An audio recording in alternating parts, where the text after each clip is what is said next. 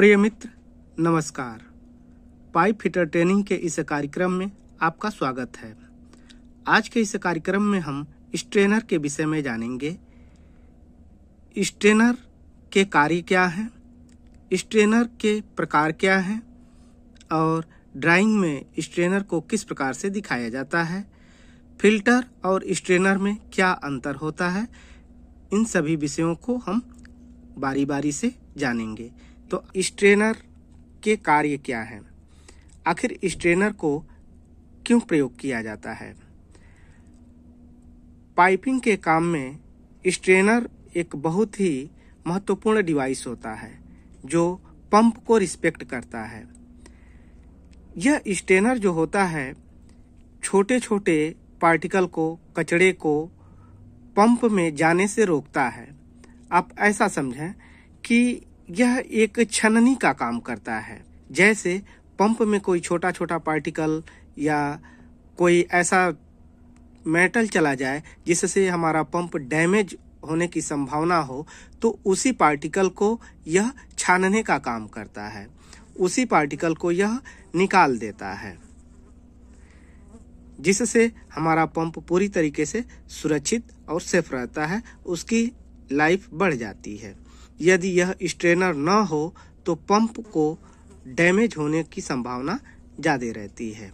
Strainer का प्रयोग कहाँ कहाँ पर किया जाता है?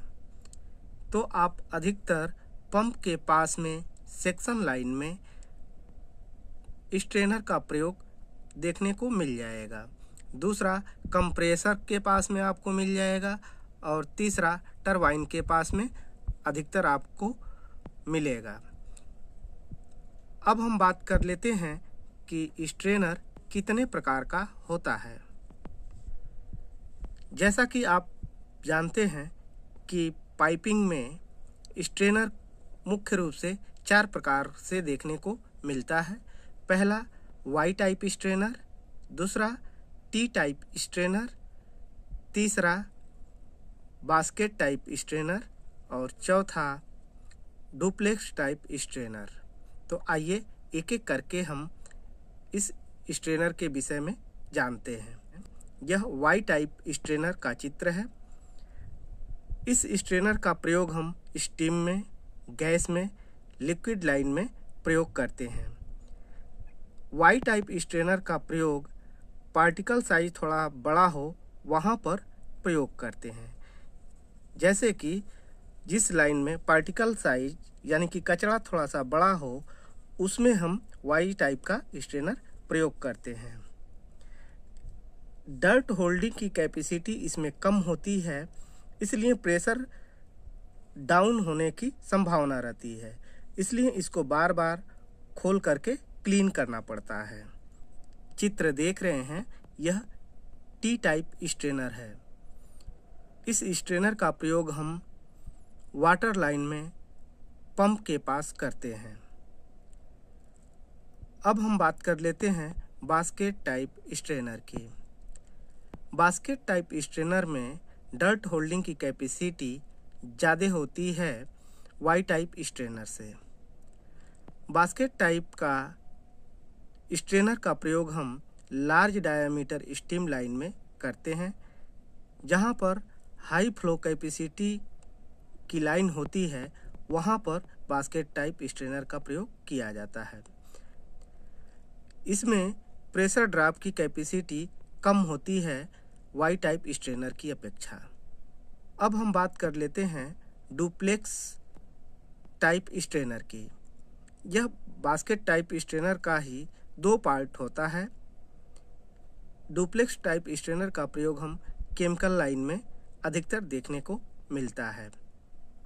डुप्लेक्स टाइप स्ट्रेनर को क्लीन करने में आसानी होती है। हम ये जो ऊपर वाल्व देख रहे हैं, यहाँ पर इसको चेंज करके दूसरे स्ट्रेनर का प्रयोग कर सकते हैं।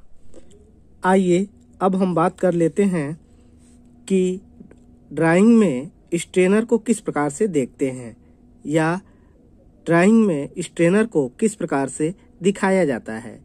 जैसे आप ये पीएनआईडी देख रहे हैं पाइपिंग एंड इंस्ट्रूमेंशन डायग्राम देख रहे हैं तो इसमें ये जो पंप है पंप के सेक्शन लाइन में ही स्ट्रेनर को दिया जाता है। जैसे आप ये डिस्चार्ज लाइन देख रहे हैं तो इसमें स्ट्रेनर नहीं है। लेकिन अगर आप इस सेक्शन लाइन को देखेंगे तो यहाँ पे ये जो दिखाई दे रहा है, यह स्ट्रेनर का सिंबल है। यहाँ पर ये जो एस टी आर करके और इतने नंबर का ये दे दिया गया है। जिससे यह पता होता है कि यहाँ पे स्ट्रेनर लगा हुआ है। अब हम बात कर लेते हैं कि आइसोमेट्रिक ड्राइंग में स्ट्रेनर को किस प्रकार से दिखाया जाता है। जैसे यहाँ पर आप ये देख रहे हैं, ये जो पंप के नोजल का सिंबल बनाया गया है, ये जो देख रहे हैं, यहाँ पे पंप के नोजल का सिंबल बनाया गया है। ये रेड्यूसर लगा करके आगे लाइन को लिया गया है। यहाँ पर ये ड्रेन पॉइंट दिया गया है और ये बेंड पॉइंट को दिया गया है।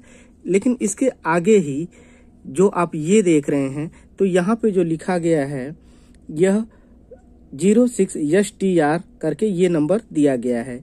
यानी कि ये जो है, यह स्ट्रेनर का सिंबल दिखाया गया है। किसी किसी आइसोमेट्रिक ड्राइंग में जब वाई टाइप का स्ट्रेनर रहता है तो वहाँ पर एक लाइन को खींच करके और स्ट्रेनर के सिंबल को ऐसे दिखाया जाता है। आइए, अब हम बात कर लेते हैं। स्ट्रेनर और फ़िल्टर में क्या अंतर होता है? स्ट्रेनर जो है, अधिकतर सेक्शन लाइन में लगाया जाता है, जबकि फ़िल्टर डिस्चार्ज लाइन में लगाया जाता है। क्योंकि फ़िल्टर करने के लिए आपको प्रेशर की आवश्यकता होती है, और सेक्शन लाइन में प्रेशर कम होता है, जबकि डिस्चार्ज लाइन में प्रेशर ज़्यादा होने की वजह से वहाँ पर फ़िल्टर दिया जाता है। स्ट्रेनर छोटे छोटे कण को जो आँखों से दिखाई दे, उसको क्लीन करता है।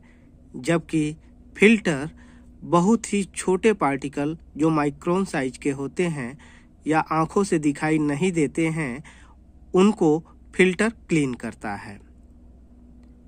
स्ट्रेनर अधिकतर मेटल का बना होता है, जबकि फ़िल्टर मेटल और नॉन मेटल दोनों प्रकार से बना होता है।